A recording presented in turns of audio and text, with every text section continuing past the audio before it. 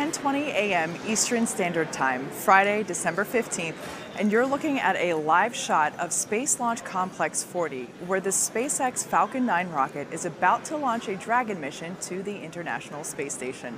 Hello and welcome. My name is Kate Tice, and I'm a certification engineer, and I'm standing here in our SpaceX headquarters in Hawthorne, California.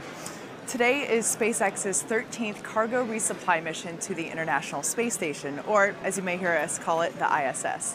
We're all excited for this particular mission because it's the first time that we're flying both a flight-proven first stage and a flight-proven Dragon. In other words, both of these vehicles have already gone to space before. This first stage flew six months ago on CRS-11, and the Dragon spacecraft flew on CRS-6 in April of 2015. Pretty cool stuff, and we'll talk more about this in just a moment. Also special about today, it's our return to Space Launch Complex 40. We've, we've made lots of cool upgrades to the pad within the last year. This now gives us three operational launch sites. This one, 39A, uh, both of which are in Florida, and our California launch site at Vandenberg Air Force Base. Let's get started. Hi, I'm Michael Hammersley, a materials engineer for our electronics group, and I'll be bringing you status updates over the course of this mission. As Kate mentioned today, for the first time we're flying two flight-proven vehicles. Uh, the Falcon 9 first stage, which previously flew in June of this year on CRS-11, and the Dragon spacecraft, which previously flew in April 2015 on CRS-8. Uh, both Falcon 9 and Dragon were designed with reflight in mind, so the vehicle hardware is built to support multiple missions with minimal refurbishment in, in between. Uh, and for this mission, we've refurbished the thermal protection system on Dragon's exterior, uh, so that's why it looks brand new. Uh, but you'll notice that the Falcon 9 first stage hasn't been scrubbed down, uh, and you can still see the soot from reentry. Uh, the plan going forward is to not wash or repaint any of the first stage, although from time to time we may still scrub down or repaint parts or all of it uh, if deemed beneficial. we did that in this mission on the interstage and the legs, but for the most part, going forward, the soot from reentry will remain. Um, key takeaway for Falcon and Dragon at the moment is that we are tracking no issues and we are on track for an on-time launch just 13 minutes from now. A vehicle was raised by the transport erector late last night, about 12 hours ago, uh, and the go, no-go poll was conducted by launch control just over an hour ago. Um, propellant loading began shortly thereafter. Uh, currently the first stage and the second stage are both full of uh, RP1, the kerosene propellant, um, although we're going to top up the the first stage uh, at about T minus seven minutes just to make sure it's totally full. Um, helium loading began uh, at T minus 15 minutes, and that's what keeps the tank pressurized when we're emptying it of propellant. And Dragon is also getting ready. Um, it began its auto sequence at T minus 35 minutes. Uh, that's when it coordinates timing with Falcon 9 and makes sure its systems are all healthy. Um, next big step for Dragon is coming up at T minus 8 minutes when it's going to move to internal power uh, to support its mission over the, the two to three days that it's going to take to dock with the ISS. Um, currently the range is ready to support uh, and the weather is looking absolutely gorgeous at the moment. Uh, no, no major clouds to be worried about, some, some stratocumulus. Um, we've been launching balloons every 30 minutes or so uh, to be checking on the wind speeds at various altitudes. Um, and uh, there's nothing looking unsafe for launch on that front. we generally want those winds to be under about 30 miles an hour and make sure that there isn't too much wind shear, uh, which is when the winds at different altitudes are moving in different directions. Um, overall, still very much a go for today's launch, and we've also made some upgrades to the pad. Uh, let's take a look. Good morning, my name is Tom Praderio. I'm a firmware engineer in the avionics department here at SpaceX. Now, as Kate and Mike both said, SpaceX is excited to be back at Space Launch Complex 40, or SLIC 40 for short. SpaceX has spent the past few years not only rebuilding Slick 40, but upgrading it to reinforce its structures, improve its groundside systems, and replicate operations at LC-39A, which is our pad just a few miles to the north. Uh, it's important to remember that this pad, Slick 40, was designed before the first Falcon 1 ever flew. So this rebuild includes lessons learned from over a decade of building and operating launch pads across the country. Uh, some of the important improvements that we've made to the pad are new dog houses. Uh, these are the heavy metal shields that protect the hold downs, which are the large clamps that hold the rocket down right until it leaves the pad. Uh, we've also installed a new flame diverter system that can withstand much longer engine firings, which allows us to do more static fire testing here instead of shipping all of our reused cores back to McGregor, Texas. Uh, upgrades to the Strongback, which is the, uh, the tower next to the rocket right here, also include new lift cylinders. You can see those new lift cylinders, they're the blue objects right here. Uh, these stronger lift cylinders allow us to do one uh, continuous lift process from horizontal all the way to vertical, whereas before we were doing a two-step process. Uh, we've also completely upgraded the LOX system on the pad. Uh, this allows us to do much faster densification and loading that LOX onto the rocket once it's dense. Uh, overall, Slick 40 has been upgraded with additional redundancies to make it safe and reliable uh, as its LC-39A cousin to the north, which is helpful as SpaceX often sends employees and equipment between the two pads, so it's good to have as much commonality as possible between them. Uh, together with Pad 39A and our West Coast launch site in Vandenberg, SpaceX now has three operational launch pads. More launch pads means more launches, which is the key to full and rapid reusability. 11 years ago, Dragon was just a design on a piece of paper. Today, it's the only vehicle flying that can deliver significant cargo both to and from the International Space Station, and it's been an exciting ride to get us to where we are. In 2010, SpaceX became the first private company to send a spacecraft to orbit and return it to Earth. Two years later, in 2012, Dragon became the first privately developed spacecraft to visit the ISS. Since then, SpaceX has made a total of 12 trips to the ISS, and we're under contract with NASA for a total of 20 cargo resupply missions. We're currently flying cargo missions, but ultimately we will fly astronauts on crew missions with our first crew demo mission slated for next year. Whether we're flying cargo or crew, our relationship with NASA is instrumental to mission progress and success. Today's mission marks the second time we've sent a previously flown Dragon to the ISS.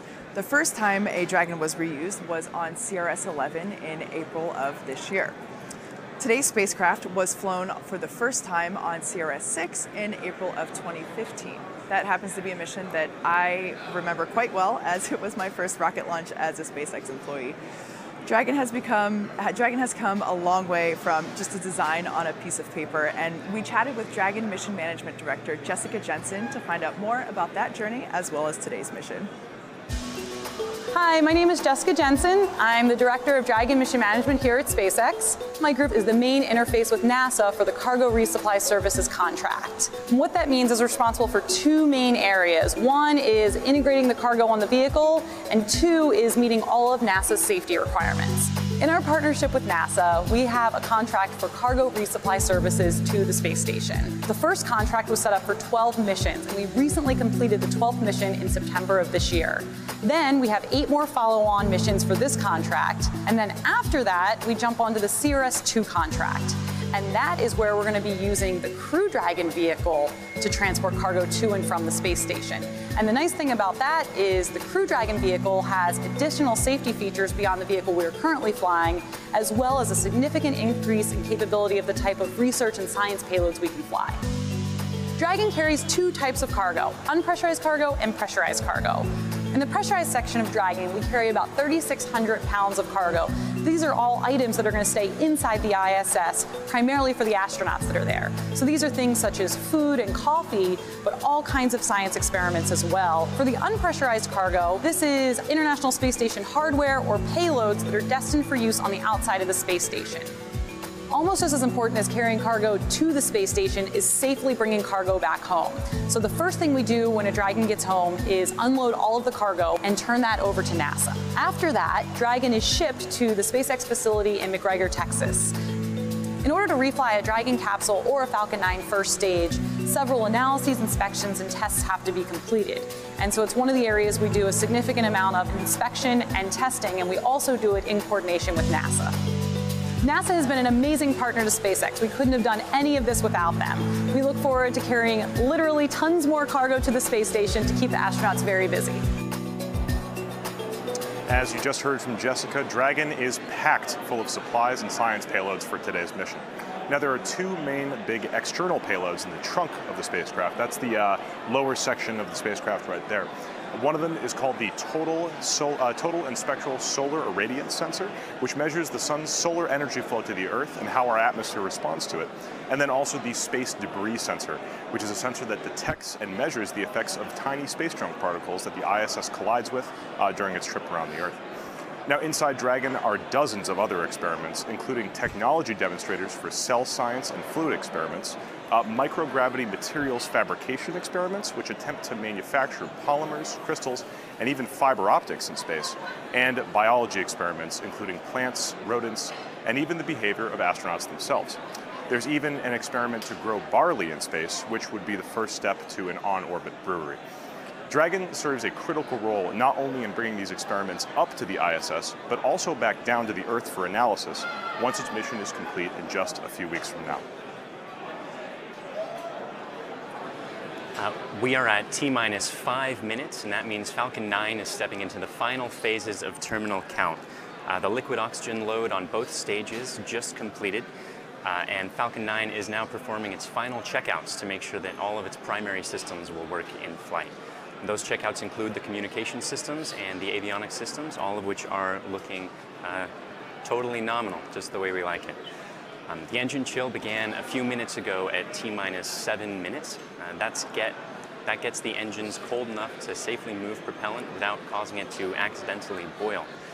Um, the next checkouts are the thrust vector control checkouts at T minus three minutes, where we wiggle the engines to make sure they'll be able to properly still steer Falcon 9 during ascent. Falcon 9 is going to enter startup mode at T minus one minute, at which point it is in full control of the remainder of the countdown. Dragon, of course, also performing its own final checkouts to make sure all of its primary systems are going to be working in flight. Again, it's going to take a couple days to get to the space station. Um, and just before liftoff, uh, watch to see the strong back retract to give Falcon 9 a, a bit more clearance during launch. Currently, uh, the range is a go. Uh, everything weather-wise is still looking golden. And let's listen in to the, the last couple minutes of terminal count.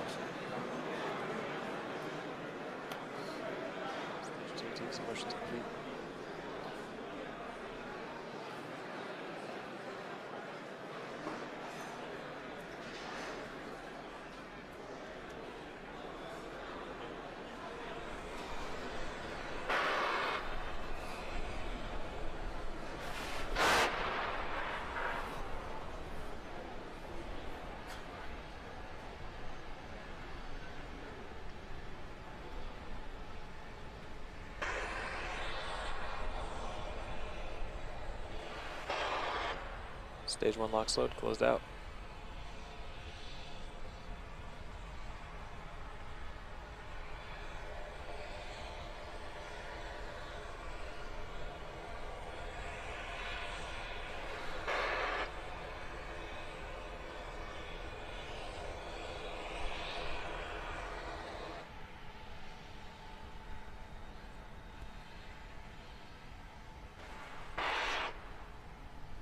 Vehicles transitioning to internal power.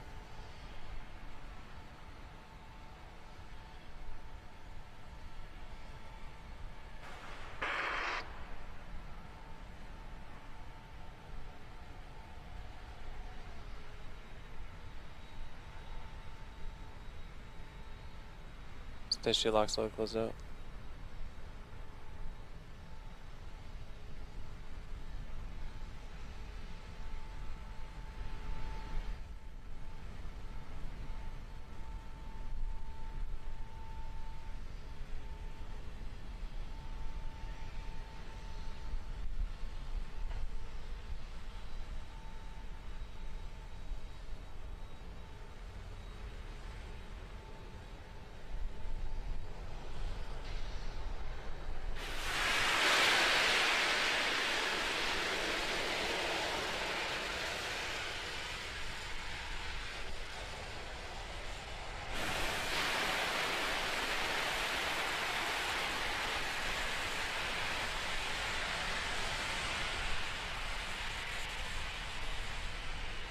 AFTS is ready for launch.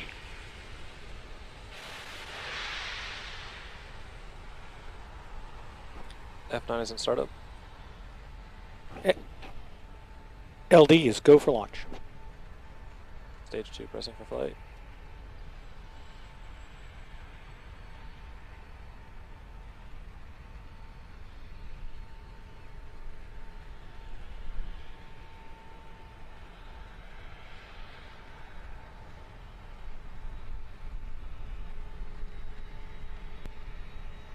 T minus 30 seconds and count.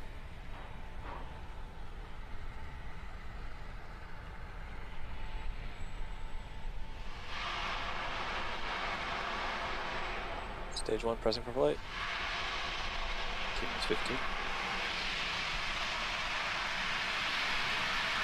It's 10, 9, 8, 7, 6, 5, 4, 3, 2, 1. Ignition. Liftoff.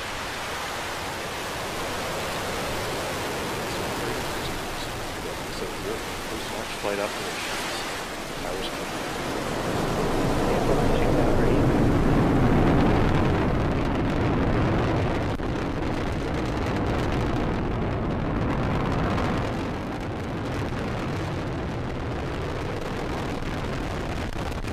Vulture's nominal.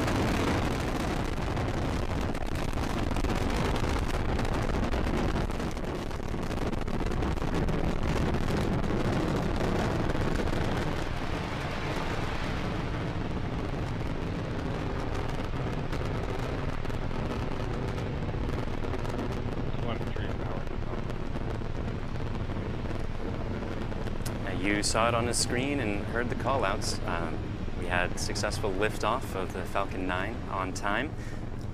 Uh, a few seconds after that, it cleared the towers and then uh, did a pitch kick maneuver. Um, currently, vehicle is supersonic. You may have just been able to make out a small uh, sonic boom there. Uh, we're about to head to max Q, which is maximum aerodynamic pressure. That's the point at which the rocket is pushing hardest against the atmosphere. Vehicle is passed through max Q. and just finished that uh, stage of flight. MVAC engine chill has started. MVAC engine chill gets the uh, engines cold enough uh, just in the way that the first stage engines perform its chill.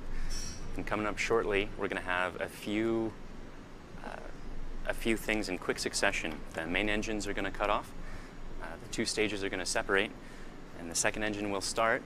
And the first stage is then going to make its way back towards landing zone one um, with a boost back burn.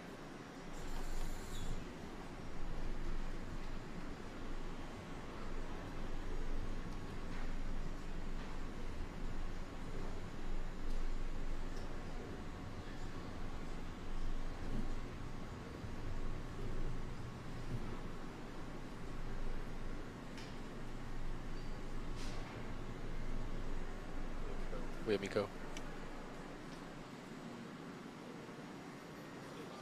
Stage separation. confirmed.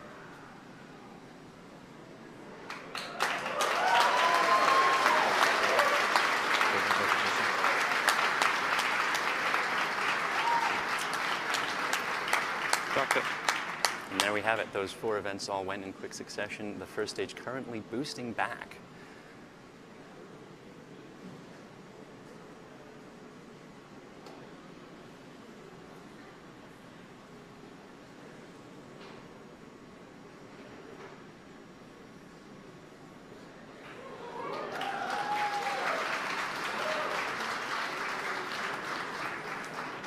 We've also gotten confirmation that the uh, second stage trajectory is good.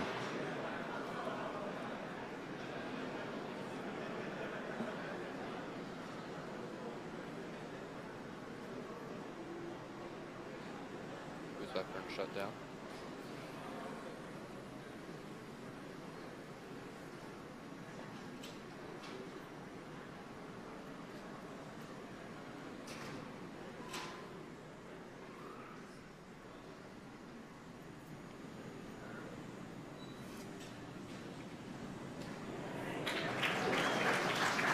Okay, so on the left-hand side of your screen, you just saw the grid fins deploy. Quick recap for those of you that may have just joined us. We've had a successful launch of Falcon 9 uh, for Dragon to the International Space Station. We have had a stage separation, and on the left-hand side is uh, the first stage, Falcon 9, returning back to landing zone 1 in Florida.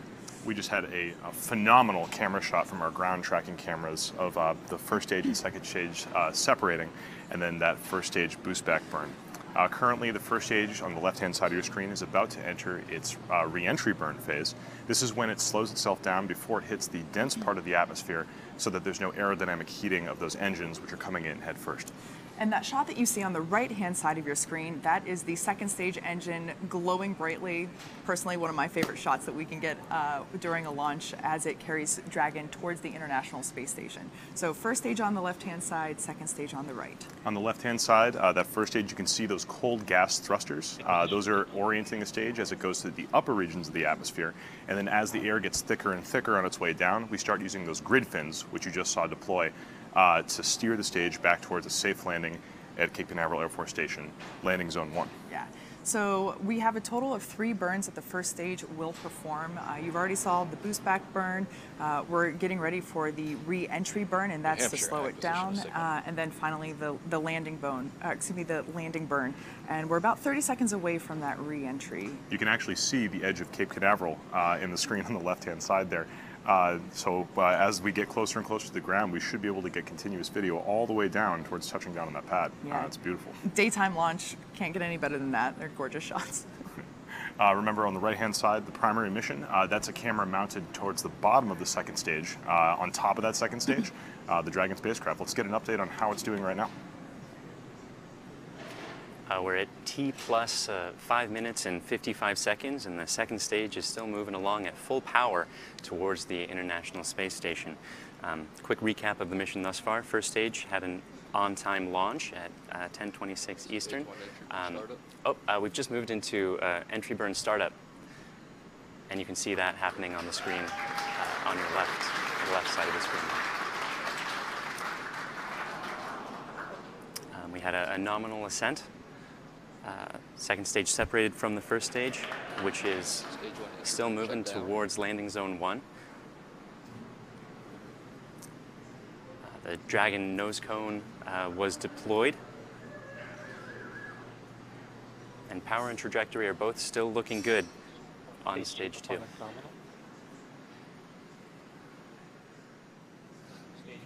Stage one AFTS has safed. So we are just sec- we are just seconds away from that landing burn. Uh, the first stage on the left-hand side of your screen, you can see it's getting very close to Cape Canaveral. Uh, in just a second or two, that landing burn, the center engine will light up and uh, take it softly down to the ground. Yeah, so we should be seeing that in just a couple of seconds. Uh, we're just past T plus seven on the right-hand side, second stage as it's carrying Dragon spacecraft towards the International Space Station, our primary mission. Uh, but on the left-hand side, let's tune in and watch this landing burn. Landing burn has just started, as you can see. Watch for those landing leg deploy. Uh, just a second or two.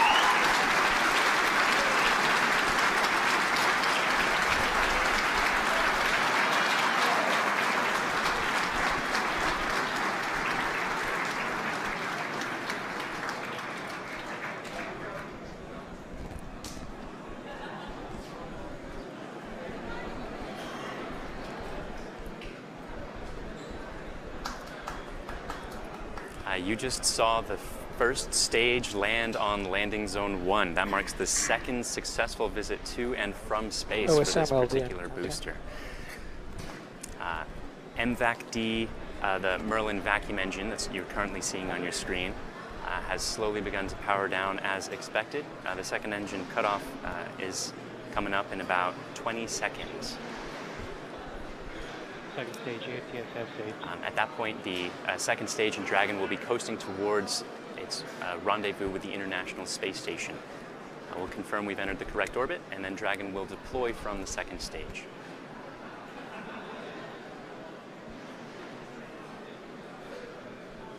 Yes, you go.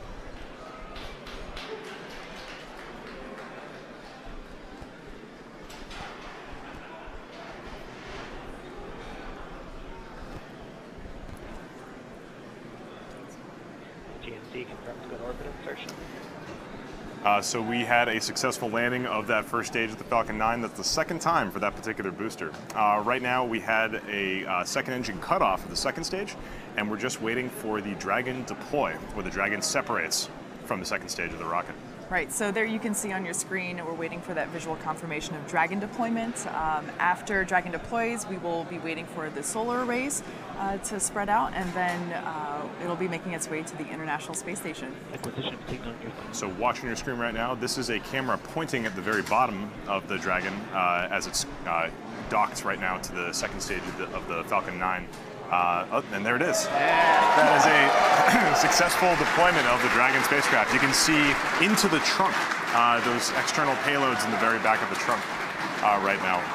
Right, so like we said before, that is the unpressurized section of Dragon. The pressurized, uh, you can't see from this particular view, um, but all of that will be making its way to the International Space Station over the next three days or so. We're expecting it to arrive on Sunday.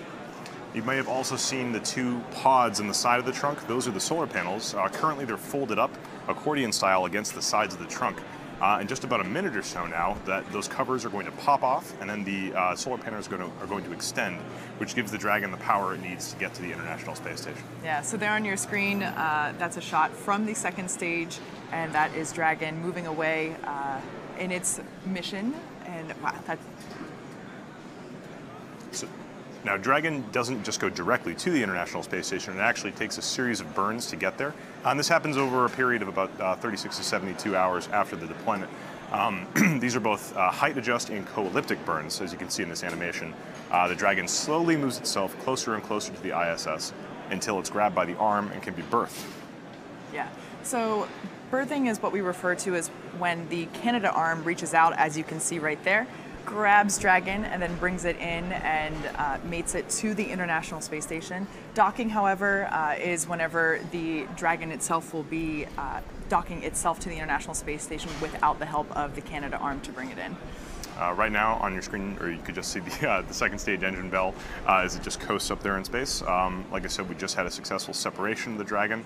Um, we are just waiting for that solar panel to deploy. Uh, and then Dragon can make its way to the ISS over the next few days. Yeah, so quick recap, just in case if you're just joining us, we had a successful launch of Falcon 9 as well as a successful landing. This is the second time that this particular rocket has launched and landed. Uh, we also have Dragon on making its way to the International Space Station as su- successfully separated from the second stage. Uh, and this is also the second time that this Dragon spacecraft is being used as well. You can see our mission control in uh, Hawthorne, California right now. Everyone's very excited uh, to be launching both a reused Falcon and reused Dragon. Uh, you can see there's usually a crowd that comes out for launch days, even though it's early in the morning. Uh, it's always good to see the SpaceX crowd coming out to watch a launch. So the view on your right is a shot of the second engine. Oh, and there's the visual confirmation of the Dragon solar arrays deploying. Uh, so those, those solar arrays are normally packed up against the side of the trunk. You can see them uh, accordioning, uh, folding out. Dragon has batteries on board that allow it to uh, collect energy, and um, those solar arrays just make sure that it's topped up uh, for the next few days as it gets closer and closer to the ISS. Expected loss of signal, Bermuda.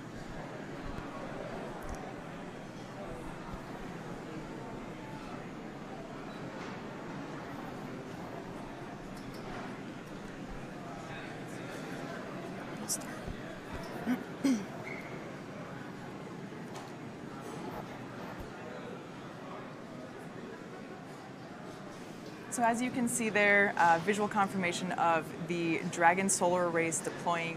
At this point in time, that's all we're going to follow for today's webcast. However, that's not the end of the mission. Dragon still has a couple days to go before it reaches the International Space Station.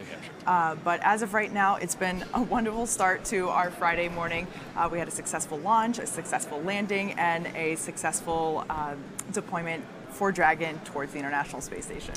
Though Dragon's mission is not yet complete, this is going to bring our webcast coverage to a close. Uh, right now, we'd like to thank our customer NASA uh, for helping us out in yet another uh, commercial resupply services mission. Uh, we'd like to thank the Air Force for supporting, uh, and the FAA, of course, and you, the viewer, for tuning in. Thank you. Uh, and if you'd like to come join us to work on uh, missions like launching Dragon to the International Space Station, uh, check us out at spacex.com slash careers uh, and look for future updates from us on our social media accounts.